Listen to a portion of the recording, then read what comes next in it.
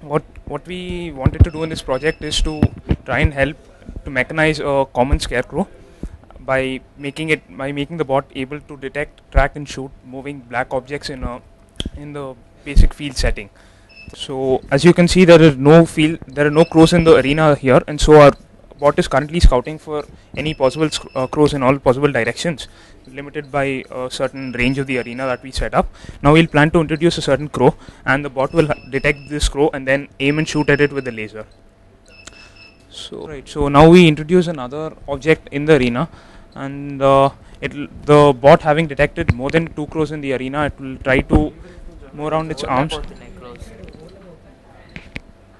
So it will try to move its arms and make uh, sound. So it's tried to rotate its arms and it's made a sound so as to scare the crows away. Once it's detected more than uh, three, three or three or more uh, crows in the arena. So and uh, so once we remove this particular crow, it'll again try to track the remaining crows and shoot them down again.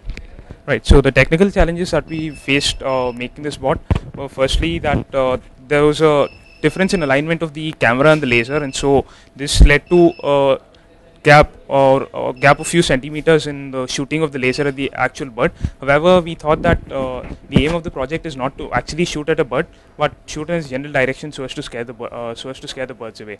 Another important challenge that we faced was the calibration of the camera. So the uh, camera had introduced a separate border, a black border around the object itself. So we had to crop, crop the image and thereby uh, calibrate the camera so as to make it able to. These were the technical challenges that we actually faced.